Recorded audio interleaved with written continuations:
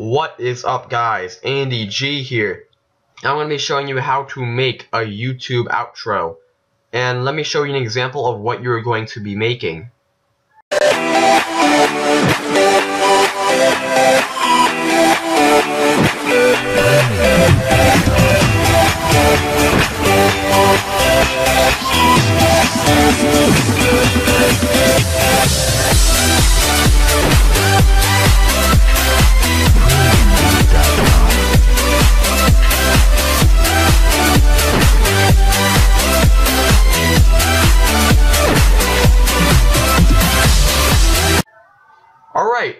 So after seeing that, this outro is obviously aimed at a gaming channel, but you can also use this knowledge to make an outro for a vlogging channel, you know, sketch channel, anything you want.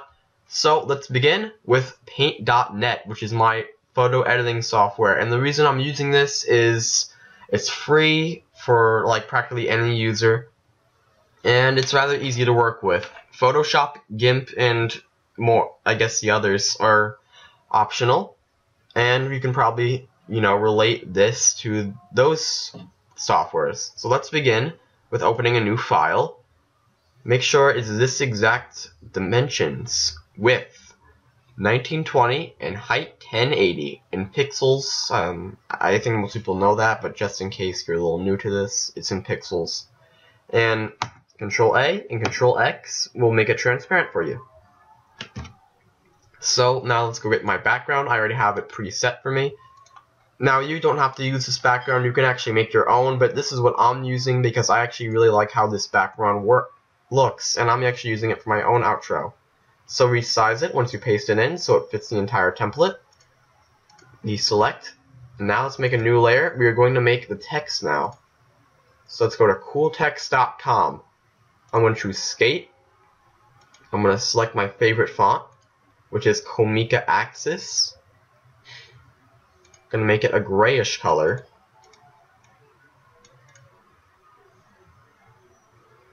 Make the shadow opacity. I'm gonna make it around 90. I'm gonna make the shadow offsets. I'm gonna make I'm gonna make this three and this three. Actually, that yeah, that looks good. And all I'm going to do is I'm going to type in my channel name. Now, I'm just, as an example, I'm going to do channel. That's pretty much all I'm going to do. This channel name. And I'm going to paste it in on my new layer. Make sure to make a new layer every time you paste something in. It really helps. And that seems like an appropriate size, maybe just a tad bit smaller. And put it at the top center. Well, actually, that's what I'm doing, but you can put it anywhere you want. But I'm putting it at the top center. So now let's make another new layer. And we're going to go to the shape tool down here. And we are going to make your squares, which your videos are going to be put into. Now try to make them a reasonable size, like this. Because I don't really think it looks good when you have, you know, squares that are shaped like this. Because a video can't possibly play. So make this is a good size right here, like a rectangle and you're going to copy and paste it and move it over so they look about even. And also make sure the distance from here to here is just about the same. Make sure that the same height too. Alright. All you're going to do now is you're going to use your fuzzy select tool. Click both of them while holding on control and do press control X while selecting the background layer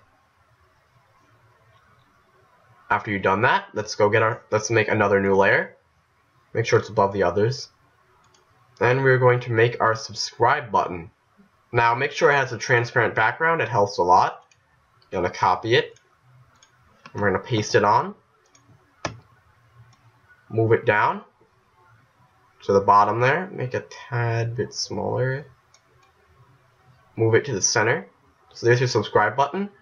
Now, if you want to actually just put another social media thing there, so let me actually go look up Twitter as an app logo.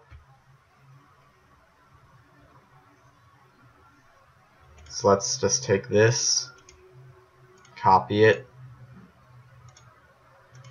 paste it in, And what you can actually do is you can make like a tiny, tiny, tiny Twitter logo on the side here. You can also put Facebook or whatever. I'm gonna do two Twitter logos. Actually, no. Let me get a Facebook logo.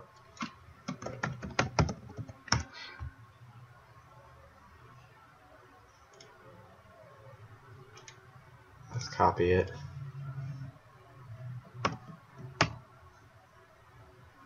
Um, oh geez, this is bigger than I imagined it.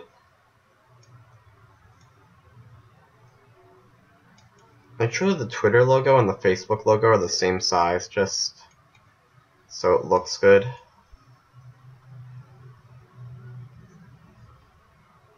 And there we go. I think the Facebook logo is slightly bigger. There we go. Both sides, Facebook, Twitter logo. I know they're not perfectly e even.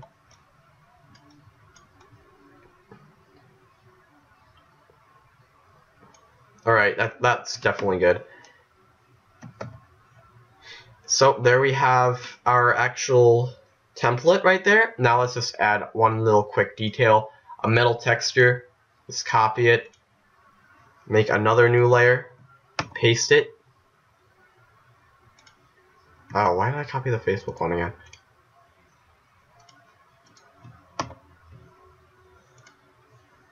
Paste it on top. Now go to opacity. And make sure this is on the top layer, by the way. Put it to glow, and I recommend making it around 70. So this is my final backdrop. So I'm going to go File, Save As. Now, you save two, save one as PDN first, by the way. Save one as PDN, so um, I'm, I'm not going to do that, but make sure to save one as PDN and save another one as PNG, and I'm going to save it as tutorial3.png. Okay, flatten. Now, when it, you flatten it, you can't edit it again, so that's why I want you to save it as a PNG first, or the PDN. Alright, so now let's go open up our video editing software. Alright, so I opened up my video editing software, and this is a Roxio Video Wave, and this comes with the Roxio Game Capture. You can get it for about $60, and this also helps you record um, Xbox videos too. I'm not sponsoring them, by the way. And um, yeah, let's add in our outro picture. Now, I just want to inform you that the overlay function, it does not work for Windows Movie Maker. So when you do um, want to overlay something, I just, you know, Windows Movie Maker is not going to cut it. It doesn't have the overlay function that we're going to be using. So now we're going to add our background music. Now you can download it off the internet, some cost money, or you can download it off YouTube, look up tutorial for that.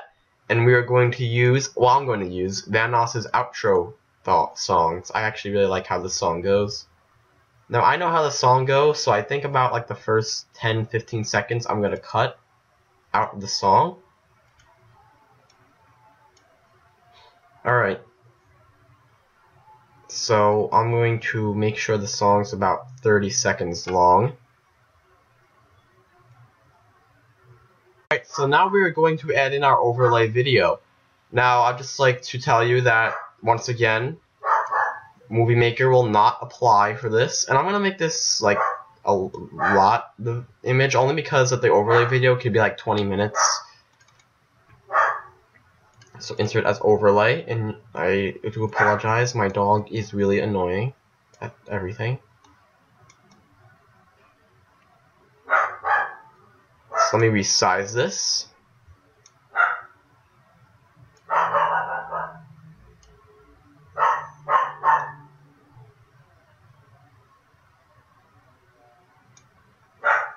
Alright, so I've resized it. Make sure the video is muted, by the way. And now let's, the, let's find the correct position. Now I want to find the spot of me actually fighting the Wither where there's action. Okay, here we are.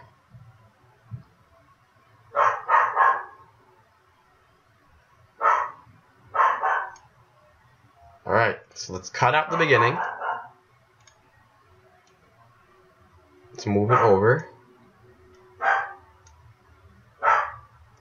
Let's go over to the song. And let's cut out the, uh, the part of the ending. Now you're going to do this two times. I'm going to fast forward. I will have the second video already up. And let's fast forward. Alright, so after you add your second overlay, basically what you're going to do now is you are going to make sure everything lines up perfectly. Now, I believe I did some stuff with my music, so it's like one second off from like the ending.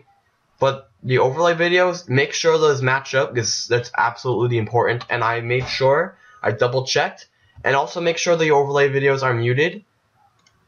You can check that. And that's pretty much it. This is what your outro video should look like if you did everything correctly.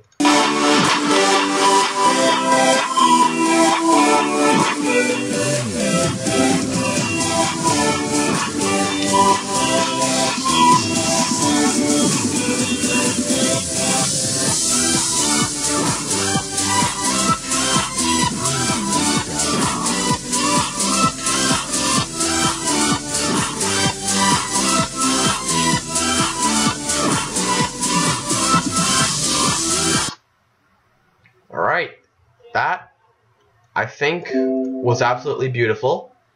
And I would like to actually see your results from this tutorial. Um, you can send them to me by any means necessary. You can upload it to like YouTube and just, you know, send it to me through like a PM, which stands for private message, by the way.